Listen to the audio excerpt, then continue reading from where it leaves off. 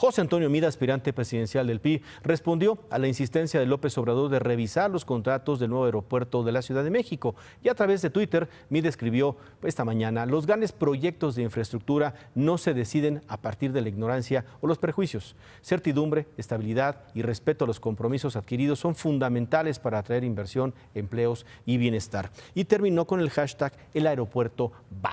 El equipo de campaña de José Antonio Mid dio a conocer el calendario de la primera semana de campaña. Así que el candidato del PRI va a iniciar el domingo primero de abril en Mérida, Yucatán, y su gira va a continuar los próximos días en la Ciudad de México, en Sinaloa y en Guanajuato. Hoy la esposa de José Antonio Mid, Juana Cuevas, se reunió con productoras de flores en Xochimilco, aquí en la Ciudad de México. Durante el encuentro, Juana Cuevas aprovechó para destacar el compromiso de Mid con las mujeres. La reunión fue con mujeres pertenecientes al grupo social Tenantitla, quienes se dedican a la siembra y comercialización de plantas encantada, muy impresionada de estar en este vivero que es un lugar mágico, que es un lugar donde trabajan familias todos los días, mujeres comprometidas con sus familias, con sacar adelante a sus hijos. Me encantó convivir con ellas, me encantó estar con ellas, me encantó disfrutar de todas estas plantas en este lugar tan mágico.